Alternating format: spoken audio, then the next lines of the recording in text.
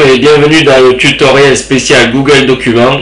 Donc nous allons voir dans ce tutoriel rapide comment euh, créer un e-book avec Google Documents. Donc d'abord rendez-vous sur Documents dans la barre de Google à partir d'ici. Donc vous cliquez Documents, vous arrivez ici et voici donc vos livres électroniques, etc. que vous créez là-dedans. Donc euh, moi je vais vous montrer juste rapidement comment on crée un book. Donc, euh, je voudrais vous montrer un des meilleurs que j'ai réussi, que donc je pense que j'ai réussi le, mieux. Donc, c'est WordPress e-commerce. Comment ça marche? Donc, vous cliquez ici, hop, connexion, et vous arrivez donc voilà sur votre document. Donc peu importe que ce soit avec Google Documents, avec Word, etc. L'essentiel c'est de montrer comment construire et développer un e-book. Donc vous voyez que j'ai mis une signature dans l'entête de chaque page ici. Donc vous voyez, j'ai mis le nom du site, le descriptif, le contact avec le mail et le numéro de portable ici. Ensuite, j'ai donné le titre principal ici, donc sur deux niveaux. Mais à vous euh, de réduire le titre pour qu'il tienne vraiment sur une ligne, c'est l'idéal. Ensuite, les paragraphes, vous voyez, les paragraphes, gardez-les simples et bien structurés, bien rangés. Donc rédigez simplement au fil, au fil du temps en fait. Ayez dans votre tête un, espace-temps. Et dans cet espace-temps, comme si vous allez courir, comme si vous allez marcher, comme si vous allez prendre votre véhicule et que vous vous rendez en quelque part. Allez-y au fur et à mesure. Donc vous rédigez au kilomètre. Vous voyez Ensuite, donc là j'ai mis un titre de niveau 2, vous voyez, titre 2, pour argumenter une nouvelle partie, quoi, pour euh, découper le livre électronique en une partie spéciale, donc réglage de la boutique. Et ensuite j'ai mis un screen, vous voyez, du réglage d'une boutique avec WordPress e-commerce. Et ensuite, ben, j'ai développé toute euh, la page. J'ai mis les listes à puces pour bien développer chaque point. Un point correspond à une partie du screen. Quoi. Donc comme ça, je vous dis pays de la boutique. Vous sélectionnez simplement le marché ciblé. Ce sont les marchés que vous ciblez. Ta, ta, ta, Donc pour chaque, chaque option, j'ai mis un point, une liste à puces, pour détailler un point spécifique. Donc ça, ce sont pour des tutoriels. Et vous voyez, sur chaque page, je répète la signature dans la tête, ici. Avec euh, le nom du site, le descriptif, le contact avec le mail et le portable. Et on continue d'argumenter avec les points. Ensuite, je passe à notre chapitre. Donc j'ai mis présentation en titre 2 ici. Et un sous-chapitre en titre 3 ici. Vous voyez, et hop, et je reprends le texte au kilomètre et vous écrivez en fonction de ce que vous avez à dire. Pas plus, pas moins. Pas besoin d'en rajouter, pas besoin de dire des conneries. Et là, vous avez un screen, toujours. Donc c'est l'onglet, le second onglet, le deuxième onglet. Après avoir détaillé celui-là, je suis passé à celui-là. Donc là, je vais détailler tous les points ici pour expliquer aux gens. Donc euh, voilà. Et ensuite, vous voyez, j'ai pris, j'ai repris ce morceau-là qui fait partie de ce morceau là donc je l'ai redétaillé pour vraiment faire un focus sur celui-là. Sur cette option là donc j'ai donné un titre. J'ai redonné un titre. Un titre de niveau 3 puisqu'on est toujours dans la partie du titre 2 de présentation. On est toujours la présentation du, du plugin ici de WordPress. Voilà. Donc vous voyez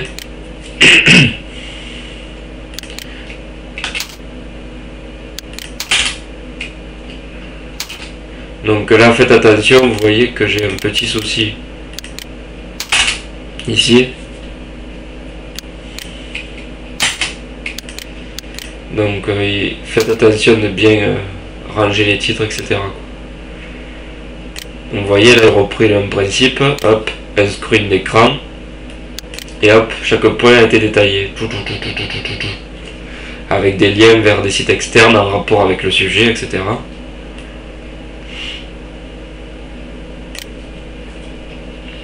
voyez, donc chaque fois c'est la même structure. Donc euh, le nom du site avec le descriptif, le contact avec le mail le numéro de portable. Hop, et le screen d'écran, et on continue à détailler les points. Donc là j'ai pas mis en gras parce que j'ai pas fini l'article. Donc il suffit, voyez, de mettre les points en valeur. Donc par exemple, vous pouvez régler la taille de l'icône d'un produit en pixels. Donc là vous pouvez mettre en gras, vous pouvez faire quoi? Régler la taille de d'un produit en pixels. Donc vous sélectionnez ça et vous cliquez sur gras.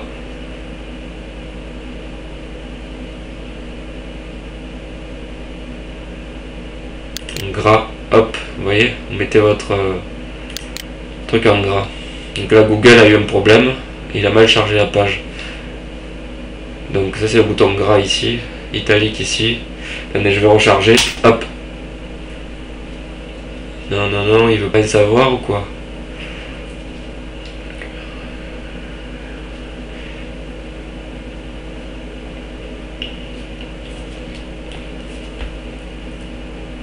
Donc vous voyez, chaque fois vous mettez les trucs en gras. Donc on revient au début. Là vous avez, nous allons voir comment paramétrer le plugin WordPress e-commerce. Donc ça vous pouvez le mettre en valeur, vous voyez, c'est important. Donc vous mettez en gras, en appuyant sur le bouton gras, voilà, B, hop, voilà, ensuite vous descendez, vous regardez un peu. D'abord vous écrivez tout, moi je vous conseille d'abord de tout écrire d'une traite, sans mettre de gras ni italique, etc. Structurez juste le texte. Vous le tapez au kilomètre, vous mettez les listes à puces, etc. Et ensuite, vous mettez en valeur et en italique, etc. Donc en premier, il vous faudra faire quoi Paramétrer les boutons. Donc ça, vous pouvez appuyer ça, cliquez sur B, on va mettre en gras ici. Hop. Donc c'est vraiment la commande essentielle euh, quand vous rédigez un e-book, c'est le gras. Il n'y a pas que celui-là de bouton, mais c'est vraiment un des plus exceptionnels. Donc après vous avez l'italique, si vous avez des paramètres, euh, d'autres réglages à mettre un peu plus euh, en valeur, mais un peu moins, un peu plus léger vous pouvez mettre euh, vos signatures avec l'italique par exemple. Moi j'ai pris l'habitude, quand j'écris mon prénom, etc., de le mettre en italique, donc en bas des pages, en bas de ma dernière page. Ça permet de, mettre une signature. Le, soulignement, ça je vous le conseille pas parce que ça fait croire aux internautes que c'est un lien alors que ce n'est pas un lien. Donc ne mettez surtout pas de souligné pour le web, etc. Pour le book. Mais encore, non, même pas pour les book non plus, puisque si vous mettez des liens, ça va les confondre avec les soulignés. Donc ne mettez pas de soulignés, gardez le souligné pour les liens. Ensuite, vous pouvez des fois mettre euh, en couleur, mais n'en rajoutez pas trop sur les couleurs. Juste deux ou trois éléments, si vous avez vraiment besoin de les mettre euh, en valeur, en lumière. Ou en souligné également, en, style marqueur, cherchant une couleur ici. Là, vous ajoutez les liens, donc euh, vous sélectionnez un lien, vous voyez comme j'avais fait pour par exemple pour votre lien de contact de mail, donc mail to votre mail. Donc vous, vous sélectionnez avec ça votre texte puis vous entrez le mail. Vous pouvez insérer donc les images, bien sûr, les images pour le visuel. Très important aussi pour un book, autant que pour des articles. Donc ensuite à vous des fois euh, si vous avez besoin de lister des éléments donc euh, des étapes. Par exemple, à 1, faites ça, en 2, faites ça, en 3, faites ça. Vous cliquez la liste numérotée et vous énumérez au fur et à mesure les étapes. Ça, c'est liste euh, non ordonnée, donc euh, si vous avez des éléments à détailler, mais qui n'ont pas d'ordre, donc pour énumérer certaines options, par exemple, vous pouvez faire ça, ça, ça, ça, ça, donc vous les mettez dans une liste à plus non ordonnée. Ensuite, vous pouvez décaler pour mettre un peu plus en valeur un certain paragraphe. Vous sélectionnez le paragraphe, vous le décalez sur la droite, sur la gauche, etc. c'est un retrait.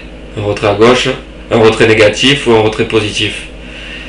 Donc moi souvent je l'ai mis Je le fais pas souvent mais quand je le fais, vous sélectionnez votre texte et vous faites un retrait positif sur la droite. Hop, et vous décalez votre texte, vous voyez Si vous vous êtes trompé, vous pouvez le redécaler sur la gauche en négatif.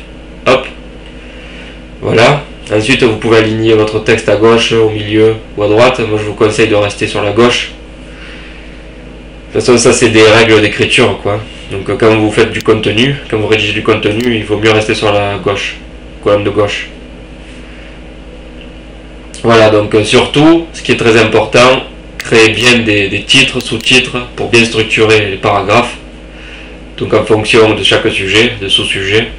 Donc titre, titre 1, gardez-le pour le titre principal du livre électronique, titre 2 pour les pour les, sujets de chapitre au-dessous, et titre 3 pour encore au-dessous, etc. 4, 5, 6, 7, 6, pardon, jusqu'à 6. Donc de 1 à 3, c'est en général ce qu'on se sert le plus en rédaction, mais vous pouvez descendre jusqu'à 6, rien ne vous en interdit. Donc gardez en tête que AO, vous partez en titre 1 pour le titre principal, et puis vous descendez dans la hiérarchie. Mais des fois, vous pouvez revenir en titre 2 et refaire le titre 3, 4 et hop, et re-enchaîner sur un titre 2 et 3, 4 et hop, titre 2, 3, 4. Moi, c'est ce que je fais souvent.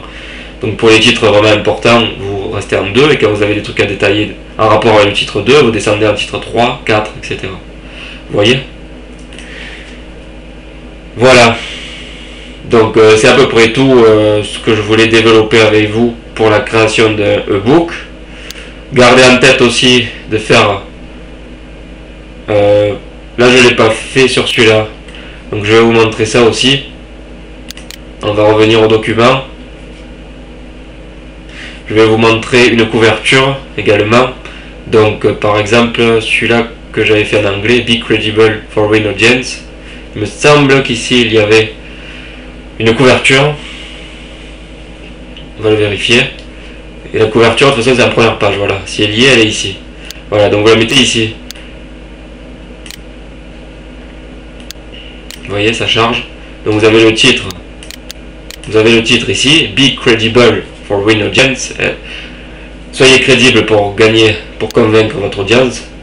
Et vous avez là une image en couverture, vous voyez, qui représente le titre de ce que je dis. Voilà, voilà, là le sommaire, vous voyez, comme je vous ai dit par écrit, au-dessus de cette vidéo, donc le sommaire. Vous voyez, et si les gens cliquent, les visiteurs, les, lecteurs cliquent sur chaque lien, ils vont accéder à chaque chapitre sous-chapitre directement. Vous voyez Donc là, vous pouvez tester avec euh, Google Documents, accéder au lien, donc Work Your Reputation. Vous cliquez ici et vous allez directement à l'entête Work your reputation. Hop. Donc il est où? Vous voyez là, work your reputation. Vous, êtes vous avez accédé directement à la bonne page. Et là, si on revient ici, que vous cliquez maintenant en dernière page, tout en bas, le dernier chapitre, be social, be human. Soyez social et soyez humain. Accédez au lien ici. Tac, vous accédez directement au titre ici, be social, be human. Voilà, en dernière, euh, tout en bas, quoi. Voilà, et vous voyez que là, j'avais mis une signature en bas, avec mon lien vers mon site. Et ici, pareil, le même, en haut. En haut et en bas. Donc ça, c'est le choix à faire, mais essayez, moi, ce que je vais faire euh, dans le futur, c'est de garder vraiment que l'en-tête de la signature, pas en bas. Donc euh, au moins les visiteurs voient directement les liens, etc. et peuvent vous contacter directement sans perdre de temps. Voilà, donc ce tutoriel euh, gratuit en vidéo est maintenant terminé sur la rédaction d'un livre électronique. Merci de m'avoir suivi et à bientôt pour de nouvelles infos toutes fraîches, toutes neuves. Merci et à bientôt les amis. Au revoir.